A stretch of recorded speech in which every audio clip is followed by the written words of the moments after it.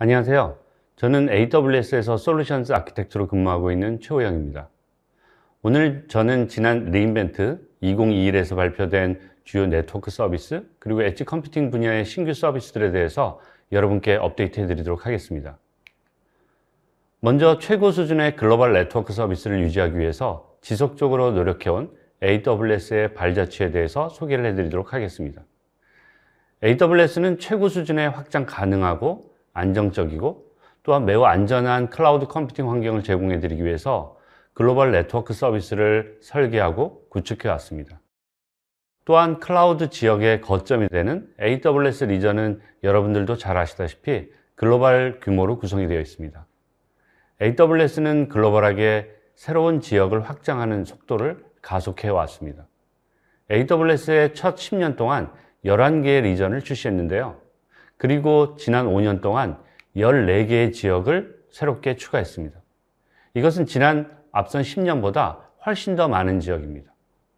그리고 곧 새로운 9개의 지역을 출시할 예정입니다. 많은 고객이 대기 시간과 높은 전송 속도로 사용자, 사용자분들에게 데이터나 비디오, 또 어플리케이션이나 API를 안전하게 전달할 수 있는 것은 매우 중요한 과제 중의 하나입니다. 이러한 워크로드를 위해서 AWS는 Amazon CloudFront를 구축을 했습니다. CloudFront는 고객의 컨텐츠를 가장 효과적으로 전달을 할 수 있는 가장 큰 글로벌 CDN입니다. CloudFront는 37개국에 걸쳐서 300개가 넘는 PoP으로 구성된 전 세계 네트워크를 통해서 고객의 컨텐츠를 굉장히 빠르게 전달해 드릴 수 있습니다. 리전 확대와 마찬가지로 새로운 팝을 추가하는 데 있어서 AWS는 매우 빠르게 확대를 해왔습니다. 2021년에만 65개의 팝을 추가를 했습니다. 오늘날 AWS는 이 구성을 통해서 전 세계 인터넷 연결 사용자 대다수를 5 microsecond 이내 의 응답 속도로 제공할 수 있게 됐습니다. 이러한 PoP에도 Direct Connect 네트워크 서비스들이 전 세계에 100여 개가 넘습니다. AWS backbone은 모든 region 그리고 가용 영역, PoP이 backbone을 통해서 연결이 됩니다. 이것은 수만 킬로 그리고 최대 10km 깊이에 이르는 해양 횡단 케이블을 통해서 전 세계를 도는 완전하게 이중화된 100기가 네트워크로 구성이 됩니다. 이것은 지금까지 구성된 가장 규모가 큰 최고 수준의 글로벌 네트워크 중 하나입니다. 그리고 AWS는 이러한 인프라를 매우 빠르게 확장해 나가고 있습니다. 글로벌 네트워크는 링크 장애를 회피하도록 설계되어 있기 때문에 단일 링크 장애는 서비스에 어떠한 영향도 미치지 않습니다. 모든 단일 링크는 이상 장애를 빠르게 감지하고 우회할 수 있도록 완전하게 자동화된 모니터링 시스템이고요. 매우 강력한 내거람성을 제공해 드리고 있습니다. 이러한 AWS 백본 네트워크는 글로벌 인프라에 대한 지속적인 AWS의 투자 영역 중 하나죠. 호주 시드니에서 미국 포틀랜드까지 이어지는 하와이키 케이블이 새롭게 추가가 됐습니다. 이 케이블은 현재 몇 년 동안 구성이 되고 있고요. 계속 지속적으로 확장이 되고 있습니다. 마레아 케이블 같은 경우에는 미국 버지니아와 스페인을 잇는 대서양을 가로지르는 케이블로서 지난해 8월부터 구성이 되고 지속적으로 확장되고 있습니다. 그리고 일본에서 미국까지 연결하는 케이블은 기존에도 있었지만 새롭게 일본에서 미국 LA까지 연결하는 Jupiter 케이블을 새롭게 추가하게 됐습니다. 이것은 2020년 10월부터 운영 중에 있습니다. AWS는 앞으로도 글로벌 backbone 네트워크에 상당한 규모의 투자를 지속적으로 할 예정이고요. 대서양, 또 인도, 중동, 아프리카 일부 지역이 여기에 포함이 됩니다. AWS가 자체 제작한 TOR, 즉 top of rack 스위치는 10년 전에 데이터 센터에서 처음 설치가 됐습니다. AWS는 이제 10GBps에서 100GBps로 또 가장 최근에는 400GBps로 전환하기 위해서 새롭게 AWS가 자체 제작한 혁신적인 3세대 스위치를 제공을 해드리고 있습니다. 이것은 여러분도 잘 아시는 spine leaf 형태의 Clos 네트워크 아키텍처 형태입니다. 기존의 폐쇄적인 modular 형태가 아닌 확장성과 가용성이 뛰어난 개방형 Clos architecture를 채용을 했습니다. 2013년에는 instance 그룹이 단방향으로 12 microsecond의 지연 시간으로 최대 460 테라bps의 네트워킹 용량을 확보할 수 있게 됐습니다. 초당 100GBps 서버 4,600대를 연결할 수 있는 굉장한 용량입니다. 2019년에는 AWS 네트워크는 인터넷, 인터, instance 그룹의 초당 처리량 10페타바이트를 처리할 수 있게 됐습니다. 2013년에 비해서 20배 이상 할당이 된 거죠. 100기가 bps 서버 10만 대를 연결할 수 있는 엄청난 양입니다. 2013년과 비교를 해보면 거의 절반인 7 microsecond 속도로 레이턴시마저도 엄청난 혁신을 이뤄냈습니다. 앞서 소개해드린 것처럼 AWS는 대형 벤더들의 모듈러형 샤시 스위치를 매우 심플한 스위치로 성공적으로 교체를 했습니다. AWS의 설계 방식은 두 개 또는 네 개의 대규모 복잡한 대형 벤더의 샤시 스위치를 간단하고 확장 가능한 64개의 심플한 스위치 단위로 도메인 규모로 대체를 하기 시작했습니다. 이를 통해서 복잡성이 많이 제거가 됐고요. 대규모 네트워크 가용성을 도입할 수 있게 됨에 따라서 트래픽도 훨씬 더 많이 수용할 수 있고 네트워크를 수평적으로 확장하기가 더 쉬워졌습니다. 하지만 이러한 확장 가능한 아키텍처로 이동을 하면서 모니터링 할 것들이 굉장히 많아지고요. 관리할 부분들이 굉장히 많아졌습니다. 이것은 네트워크를 운영하는 사람이라면 누구나 겪게 되시는 고민입니다. 네트워크 모니터링은 굉장히 어렵고요. 또 고객에게 실제 어떤 영향을 미치는지 파악하는 것들이 굉장히 중요한 과제 중 하나입니다. AWS는 대규모 네트워크를 모니터링하기 위해서 Amazon.com에서 사용했던 운영 경험을 그대로 가지고 와서 end-to-end의 metric을 수립하게 됐습니다. end-to-end metric 개념은 전체 시스템의 성능을 측정하는 매우 강력한 방법 중의 하나입니다. AWS에서는 모든 네트워크의 device들을 매일 11조 개 이상의 metric으로 추적을 하고 있습니다. AWS는 이러한 지표들을 사용해서 모든 서비스를 관리합니다. 이를 통해서 각 서비스 상태를 반영을 하고요. 정상적인 작동 여부를 손쉽게 파악하도록 했습니다. 작년에 이탈리아가 COVID 19으로 폐쇄되었을 때 이탈리아 지역의 트래픽이 400%가 증가를 했고요. 단 하나의 결함이 없이 고객분들한테 예, 신속하게 서비스를 제공할 수 있었습니다. 이러한 이슈들을 그 자리에서 신속하게 처리하기도 매우 어렵지만요.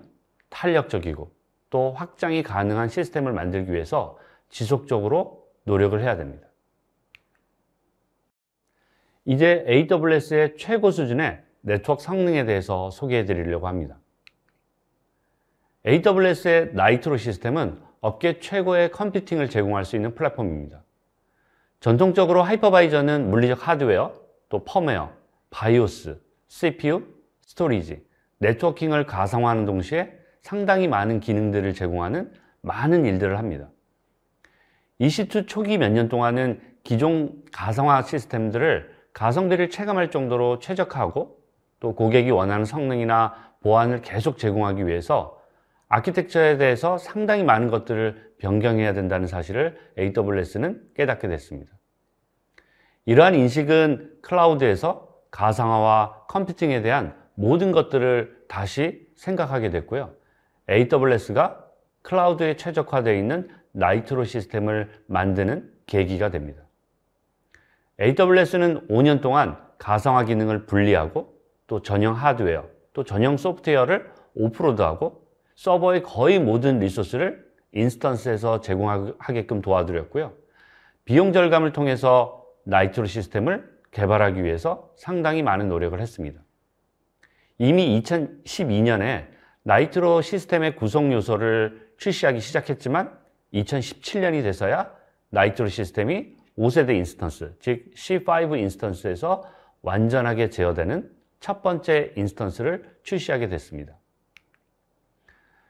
그리고 이 Nitro, Nitro 시스템을 통해서 성능에 대한 엄청난 영향을 주게 됩니다.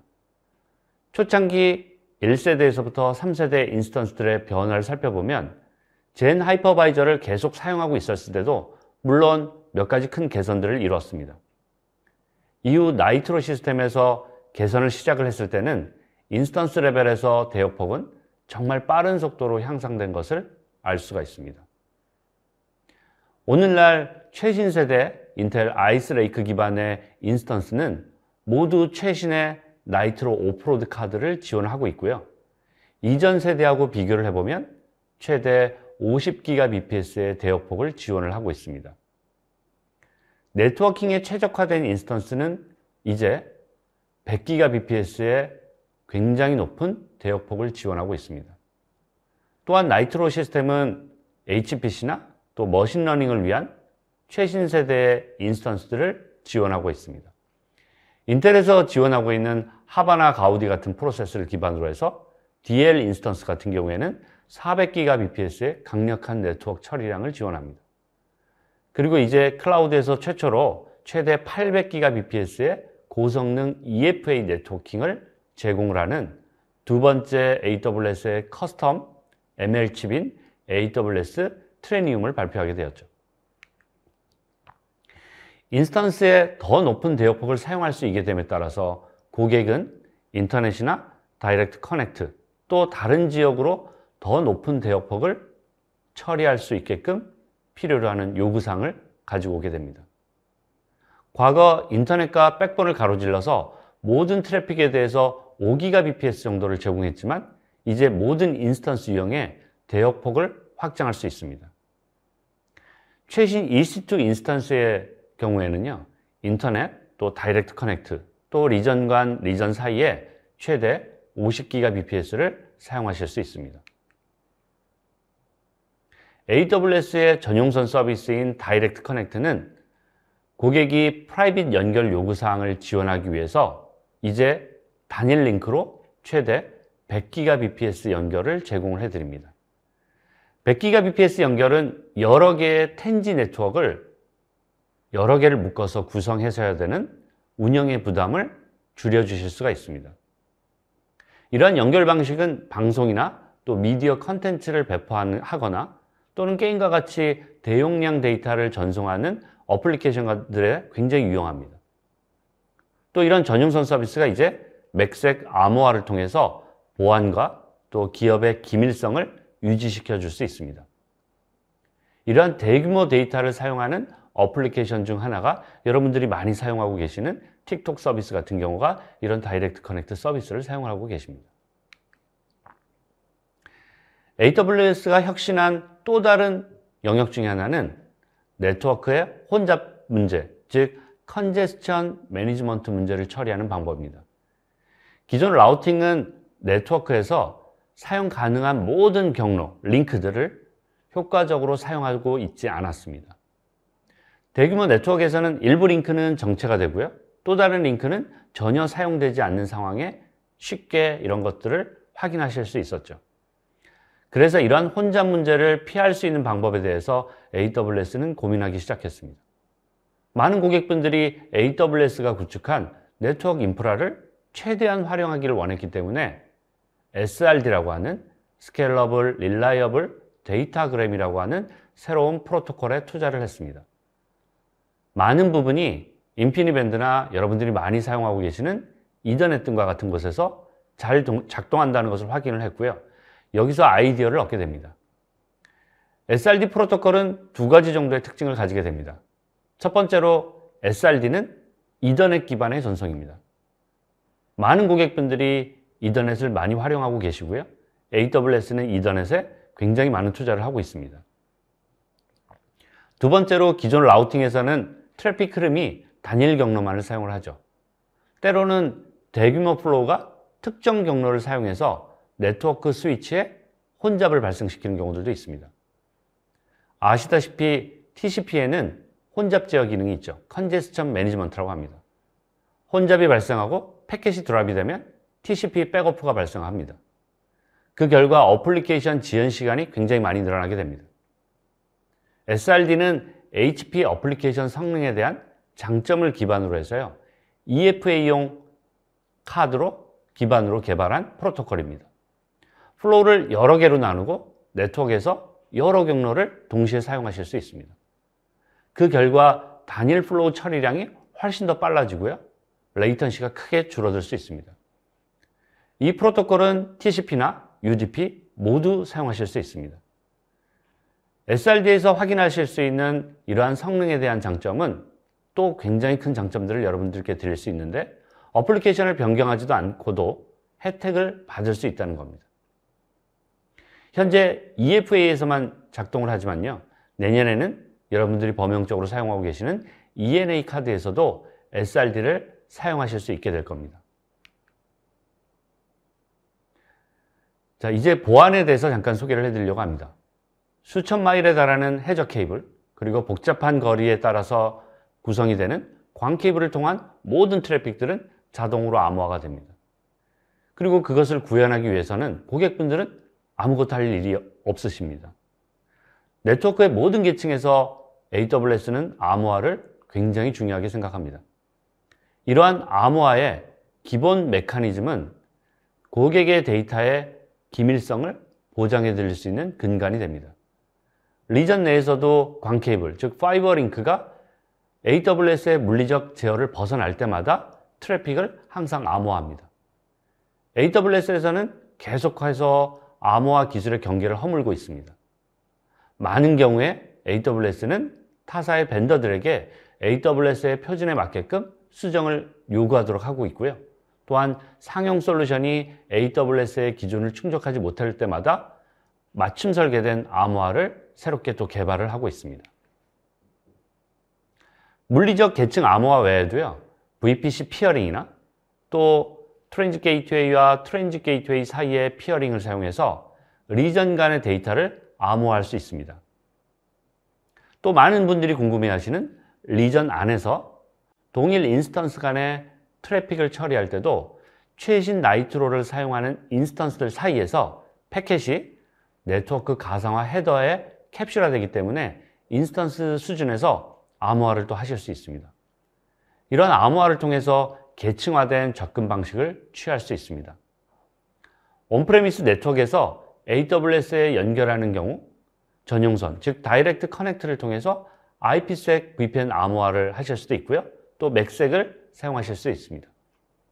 무엇보다도 TLS를 사용해서 키를 더 쉽게 관리하고 또 이러한 TLS를 AWS ELB를 사용해서 offload를 하시고 자체 어플리케이션을 더 쉽게 암호화할 수 있습니다. 이러한 AWS의 계층화된 암호화 기법들은 데이터가 여러 번 보호가 된다는 것을 의미하게 됩니다. 고객분들은 인터넷에서 수백만 개의 어플리케이션을 배포하시게 되죠. 이런 경우 잠재적인 데이터 손실을 막고 또 기업에서 가지고 있는 보안 가이드라인을 준수하기 위해서 네트워크 보호가 꼭 필요합니다. 여기에서 많은 기업들은 네트워크 방화벽이나 IPS, IDS와 같은 보안 솔루션들을 디자인하시게 되죠. AWS는 다양한 타사 보안 솔루션에 투자하고 디자인한 많은 고객들을 만나 뵀습니다. 2021년 초에 Gateway Load Balancer 출시로 이러한 디자인을 더욱더 편리하게 했습니다. 이것을 통해서 보안 appliance를 더 쉽게 배포할 수 있게 됨에 따라서 appliance에 대한 수요가 많이 늘어나면 자동으로 auto scaling을 하실 수 있게 되었죠. 가상 appliance 중 하나가 실패하게 되면 자동으로 다시 rerouting 할수 있습니다. 이렇게 되면 어플리케이션이 훨씬 더 안정성이 향상이 되게 됩니다. 고객은 많은 타사 솔루션에 대해서 cloud native 환경을 요구하시게 됩니다. 하지만 기존의 환경 같은 경우에는 확장성과 안정성을 제공하는데 어려움을 많이 겪었습니다. 보안이나 또는 기타 어, inline appliance를 설치, 설치 하는데도 적절한 방법이 없었죠.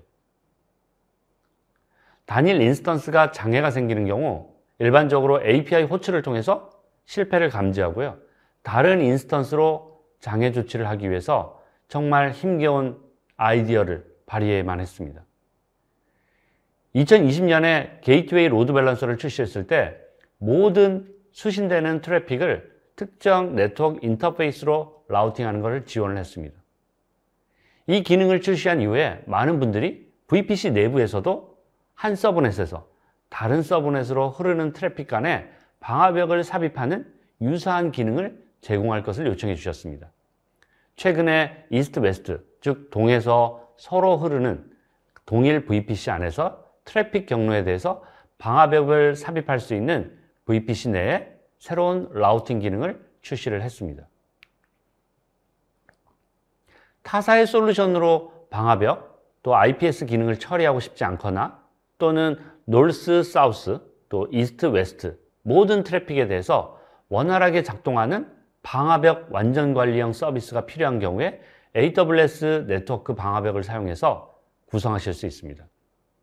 Gateway Load Balancer와 동일한 기반으로 구축이 됐지만 방화벽이 포함된 완전 관리형 서비스입니다. AWS 방화벽을 사용하시게 되면 마치 Gateway, Gateway Load Balancer와 완전 관리형 방화벽을 묶음으로 배치해서 트래픽에 적용할 정책만 적용하시면 됩니다. AWS는 방화벽의 확장이나 또 과형성을 관리하게 되고요. 또 수동으로 서버를 패치하거나 또 유지하시거나 장애 조치를 처리하시거나 용량 프로비저닝을 따로 하실 필요가 없습니다. AWS 네트워크 방화벽은 기존의 에코시스템과 integration 시킬 수 있고요. 또 친숙한 open source 기반의 argument를 사용하기 때문에 관리자가 새로운 규칙에 대한 언어를 따로 배우실 필요가 없다는 것이 굉장히 큰 특징 중의 하나입니다. VPC를 사용하시다 보면 잘못된 구성으로 인해서 보안 침해가 발생하는 경우가 상당히 많습니다. 네트워크가 의도한 대로 구성되어 있는지에 대해서 많은 고객들이 문의를 하시게 됩니다. 고객은 조직의 보안 요구사항이나 또 표준에 따라서 네트워크를 매우 신중하게 설계하고 디자인하시게 되죠. 하지만 누군가가 의도치 않게 routing table이나 security group을 변경하거나 또 새롭게 게이트웨이를 설정하시게 되면 어떻게 될까요? 네트워크가 여전히 우리가 원래 의도한 대로 호환되는지 과연 어떻게 알 수 있을까요? 특히 기업 내에서 엄격한 규정 준수 의무가 있는 예를 들면 enterprise나 또는 디지털 기업 같은 경우에는 이 규정 준수를 입증하기 위해서 routing table이나 security group 또 모든 구성을 수동으로 확인하시는 경우가 많았습니다. 이것은 시간이 많이 걸리고 굉장히 어려울 수 있습니다. VPC Network Access Analyzer가 이를 해결해 줄 수 있습니다. 이를 통해서 VPC 환경에 대한 전체 네트워크 접근 요구사항을 상세하게 지정하실 수 있습니다. 예를 들어, 예를 들어 보면요. 개발 VPC와 production VPC 간에서 연결을 원하지 않거나 또는 결제 어플리케이션이 HTTPS를 사용해서 결제 어플리케이션과만 통신하기를 원한다고 한번 가정을 해보죠. VPC 네트워크 액세스 아날라이저를 사용하시게 되면 이러한 요구사항들을 상세하게 지정하실 수 있습니다. 그런 다음 요구사항에 맞게 환경을 분석하고 위반 사항이 무엇이 있는지를 파악하고 경고를 내릴 수 있습니다. 따라서 이제 고객의 AWS VPC 환경에서 기업 내에 비준수된 네트워크 액세스 패턴을 매우 쉽게 찾을 수 있게 됐습니다. 자, 이제 다양한 workload를 위한 네트워크 서비스들이 어떤 것들이 새롭게 발표가 되었는지 한번 살펴보도록 하겠습니다. AWS는 네트워크 설계가 향후 고객의 workload가 성장하는 데 있어서 또 확장하는 데 있어서 영향을 미쳐서는 안 된다는 것을 굉장히 중요하게 생각하고 있습니다. 그리고 이러한 신념은 지난 몇 년 동안 AWS 네트워크 기술 사상을 이끌어 왔습니다. 일반적으로 고객은 단일 VPC에 대한 아이디어에 굉장히 익숙해 있습니다. 따라서 VPC가 어플리케이션 또는 비즈니스 단위의 경계가 된다는 것을 쉽게 아시고 디자인하고 있습니다. 하지만 고객은 여기서 더 많은 VPC를 만들기 시작했습니다. 오늘날 고객은 VPC를 사용해서 굉장히 많은 어플리케이션을 호스팅하고 있습니다. 많은 고객이 많은 VPC를 보유하고 있습니다. 고객이 네트워크 topology를 확장함에 따라서 VPC 간의 연결이 설정하고 관리할 때 좀 더 쉬운 방법이 필요하다고 많이 말씀해 와주셨습니다. 2014년에는 이러한 사례를 지원하기 위해서 VPC peering을 출시했습니다. 이것은 수많은 고객들의 이슈 사항들을 해결해 왔습니다. 그러나 수백 개의 VP 시간 피어링을 관리하는 것은 굉장히 번거로운 일입니다. 그래서 2018년에 Transit Gateway를 출시해서 고객이 단일 게이트를 사용해서 네트워크를 여러 VPC로 신속하게 확장하고 연결할 수 있게 됐습니다. 수많은 AWS 고객이 VPC를 대규모로 서로 연결하기 위해서 Transit Gateway를 사용해서 중앙 집중형으로 배포하기 시작했습니다. AWS는 고객이 Transit Gateway를 사용하기 시작하면서 얼마나 더 빨리 사용량을 늘리고 확장하는지를 모니터링하고 있고 매우 많이 놀라고 있습니다. 2년 전 re:Invent에서 Transit Gateway inter region peering을 출시했습니다. 이를 통해서 Transit Gateway를 모든 계정과 모든 region 그리고 모든 VPC 간의 연결을 위한 중앙 클라우드 라우터로 사용할 수 있게 됐습니다. 뿐만 아니라 격리나 또 액세스, 라우팅이나 연결에 대한 요구사항에 맞는 네트워크 topology로 생성할 수 있는 기반을 마련하게 됐습니다. Transit Gateway가 이제는 region 내의 peering을 구성할 수 있게 됐습니다. 즉 동일한 AWS region, 예를 들면 서울 region 안에서 배포된 Transit Gateway를 두 개 이상 있다라고 하면 서로 간에 peering을 할 수 있게 됐습니다. 동일 region 내에 독립적인 클라우드 네트워크가 있고 또 특정 VPC나 계정을 선택적으로 연결하시려는 많은 고객의 중요한 request들, 즉 중요한 요구사항들을 해결할 수 있게 됐습니다. 이제 Transit Gateway는 region 내에서 peering을 손쉽게 할 수 있기 때문에 훨씬 더 advanced한 네트워크 topology를 구축하실 수 있습니다. Direct Connect, 즉 AWS의 전용선 서비스를 사용하시게 되면 on-premise 위치에서 AWS의 글로벌 네트워크에 직접 신속하게 연결할 수 있습니다. 또한 Direct Connect나 또 VPN을 통한 연결 옵션을 사용해서 최근 트렌드가 되고 있는 SD-WAN 연결을 제공하기 위해서 AWS는 SD-WAN 공급업체와 integration을 해두었습니다. 또한 클라우드에 연결하는 것 이외에도 고객이 AWS 글로벌 네트워크를 사용하기 위해서 on-premise 네트워크 안에 직접 연결을 원한다는 사실을 많은 고객들로부터 요청을 받았습니다. AWS Direct Connect SiteLink를 사용하시게 되면 이제 AWS의 글로벌 네트워크 내에서 가장 최적화된 경로를 따라서 고객의 오피스나 데이터 센터 그리고 colocation을 연결하기 위해서 Direct Connect 위치 간의 private 네트워크 연결을 생성하실 수 있습니다. 지금까지 데이터 센터나 고객의 branch 간에 직접 연결이 필요한 고객들은 public 인터넷을 사용하시거나 또 비싸고 배포하기 어려운 MPLS 네트워크에 의존해야만 했습니다. 이러한 경직성은 고객이 전 세계적으로 비즈니스를 확대함에 따라서 골칫거리가 돼서 운영 비용이 굉장히 많이 증가를 했죠. 이제 SiteLink를 통해서 서로 다른 region, 서로 다른 지역의 전용선들은 AWS에 가까운 region에 연결만 하면 AWS 백본을 통해서 트래픽을 아주 손쉽게 처리하실 수 있습니다. SiteLink는 Direct Connect가 이미 입증된 안정성이나 사용량에 따른 과금, 또 사용의 편의성을 기반으로 구축되기 때문에 전용선 속도 50Mbps에서 최대 100Gbps까지 확장하실 수 있는 글로벌 WAN 네트워크를 신속하게 provisioning 하실 수 있습니다. Direct Connect 위치에 대한 연결을 설정하시게 되면 네트워크가 서로 다른 지리적 영역에 걸쳐 있더라도 SiteLink를 켜거나 끄는데 단지 몇 분밖에 걸리지 않습니다. 단순히 그냥 체크박스에 체크만 하시면 됩니다. 두 개의 Direct Connect 연결이 동일한 gateway에 연결이 되어 있고 이 기능이 활성화만 되어 있으면 동작하게 됩니다. 이러한 모든 기능은 굉장히 훌륭한 연결 블록으로 구성되어 있습니다. 그리고 이러한 기능을 사용을 해서 글로벌 네트워크를 구축하는 많은 고객들이 있다는 것을 AWS는 잘 알고 있습니다. 그러나 단일 글로벌 네트워크를 구축하려고 하면 고객분들께는 올바른 난리지나 또는 resource들이 필요하게 됩니다. 이를 수행하려면 AWS 네트워크, 또 최근 트렌드가 되고 있는 SD-WAN 네트워크, 또 on-premise 데이터 센터 네트워크를 모두 연결을 해야 되죠. 일단 설정한 이후에도 이 모든 것을 관리하려면 전문 지식이나 또 도구, 또 시간도 필요합니다. 글로벌 네트워크에 새 VPC나 또 새, 새로운 on-premise 환경들을 추가를 할 때마다 네트워크 구성을 또 다시 해야 됩니다. 하나의 네트워크를 갖도록 정말로 단순하기 위해서는 하나의 글로벌 네트워크가 구성하는 방법들이 필요하게 됩니다. Cloud WAN을 통해서 고객분들은 이제 업계 최초로 segment 또 자동화 기능이 내장된 완전 관리형 글로벌 네트워크를 손쉽게 구성하실 수 있습니다.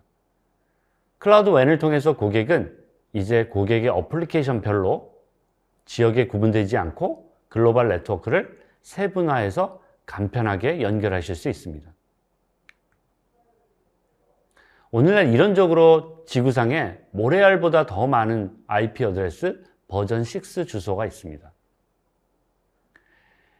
이러한 주소 지정의 IP 버전 6는 더 많은 공간과 또 자유로움을 주실 수가 있게 되었죠. 그리고 IP 버전 6의 글로벌 채택이 처음에는 느렸지만 지난 몇 년 동안 급속도로 확장이 됐다는 것을 알 수가 있습니다. AWS는 이제 IP 버전 6로 고객이 전환하는 것을 지원해 드리려고 합니다. 예를 들어 최근 NAT Gateway에서 NAT 64 지원을 시작을 통해서 IP 버전 6 전용 workload가 IP 버전 4 전용 서비스와 직접 통신할 수 있게 됐습니다. IP 버전 6 전용 endpoint를 네트워크, load balancer, 또 application load balancer 뒤에 배치하시게 되면 inbound IP 버전 4 통신을 활성화할 수도 있습니다. 또 PrivateLink는 이제 IP 버전 6 전용 모드를 지원하기 시작했습니다. 마지막으로 IP 버전 4에서 IP 버전 6로 원활하게 전환할 수 있도록 IP 버전 6나 IP 버전 4 주소에 동일한 DNS host name을 사용할 수 있는 resource 기반 host name을 출시했습니다. AWS는 앞으로도 고객이 IP 버전 6를 쉽게 사용할 수 있도록 지속적으로 투자를 할 예정입니다. 많은 고객들이 또 많이 요청한 것이 바로 IP 관리에 대한 문제입니다. 수천 개 또는 수만 개의 IP 주소를 가진 고객들은 대부분 아마 엑셀에서 이를 추적하고 관리하시고 계실 겁니다. 이것은 분명히 시간이 굉장히 많이 걸리고요. 오류가 많이 발생할 수 있습니다. AWS의 IP 관리 솔루션인 VPC IP Address Manager, IPAM이 이제 이것을 해결해 드릴 수 있습니다. IPAM을 사용하시게 되면 routing이나 보안 요구사항에 따라서 IP를 할당한 다음에 비즈니스 정책에 따라서 IP 주소를 자동으로 assign할 수 있습니다. 또한 IP 버전 4나 IP 버전 6, 또 private, private address, 또 공인 IP, 또 BOIP 주소를 관리하실 수도 있습니다. 예를 한번 들어보겠습니다. 개발자 중 한 명이 VPC가 필요할 때마다 네트워크 팀에 티켓팅을 끊게 되겠죠. 일반적으로 네트워크 팀은 엑셀을 사용해서 IP 주소를 관리하고 추적하고 또 사용하지 않는 IP 주소를 찾은 다음에 관리자, 아, 개발자에게 IP 주소를 할당하게 됩니다. 그러면 개발자가 VPC를 생성하게 되고요. 이 과정은 일주일 이상 걸릴 수 있습니다. IPM을 사용하시게 되면 이제 몇 초 안에 VPC를 생성하고 할당할 수 있습니다. 마지막으로 엣지 환경에서의 AWS가 어떤 서비스들을 확대해서 제공할 수 있는지를 살펴보도록 하겠습니다.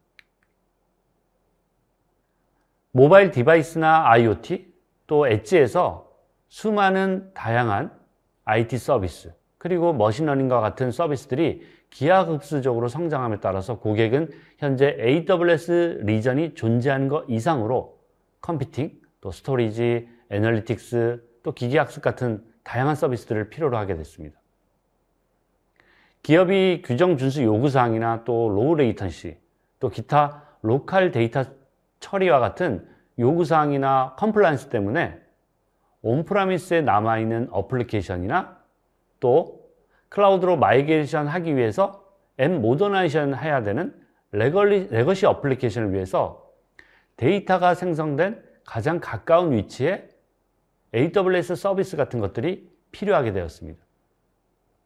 고객은 클라우드에서 on-premise에 이르기까지 다양한 환경에 걸쳐 있는 application을 구축하고 또 배포하고 또 API나 기타 기능들을 사용해서 한 번에 개발하고 민첩하게 일관된 방식으로 workload를 배포할 수 있도록 요구를 하고 있습니다.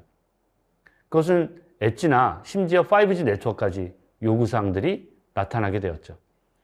이를 쉽게 구현하기 위해서 AWS는 그동안 AWS 인프라와 서비스를 고객이 필요한 곳에서 computing할 수 있도록 더 넓은 확장이 필요하다고 판단해 왔습니다. 지난 몇 년 동안 AWS는 AWS 서비스가 고객 가장 가까운 곳에서 서비스를 제공해 드리기 위해서 Local Zone이나 Wavelength 그리고 Outpost, IoT, 또 Snow Family 등과 같은 다양한 서비스들을 제공을 해드려 왔습니다. 이제 고객분들이 5G 이동통신 환경에서 AWS 서비스를 사용하실 수 있도록 AWS 프라이빗 5G 서비스를 북미 지역에서 먼저 출시하게 되었습니다. 일반적으로 5G 네트워크는 더 빠른 속도, 또 훨씬 더 늘어난 대역폭, 또 대용량을 제공해 드리고 있습니다. 기업 고객은 5G 기술을 활용해서 smart factory나 산업용 IoT, 자율 로봇, 주행, AR, VR, 또 기타 혁신적인 application들을 사용하기를 원합니다. 고객은 기업을 위해서 자체 private 5G 네트워크를 배포하는데 손쉬운 방법들을 요청을 해왔습니다. 문제를 해결하는데 도움이 되도록 private 이동 네트워크, 이동 통신들을 설치 또 운영, 확장할 수 있는 완전 관리형 서비스인 AWS 프라이빗 5G를 프리뷰로 북미 지역에 먼저 발표하게 되었습니다. AWS는 이러한 기능을 제공하는 유일한 클라우드 제공 업체입니다. AWS의 Private 5G를 통해서 기업은 이제 AWS 콘솔에서 클릭 몇 번만으로 private 모바일 네트워크를 조달을 하시고 배포하고 확장할 수 있게 됐기 때문에 배포 시간을 이제 수개월에서 며칠로 단축하실 수 있습니다. 이렇게 Private 5G를, 5G를 사용하셔서 대기 시간이 짧은 고대역폭 사설 5G 이동통신을 구축하실 수 있고 수백만 대의 장치를 연결하실 수 있게 되었습니다.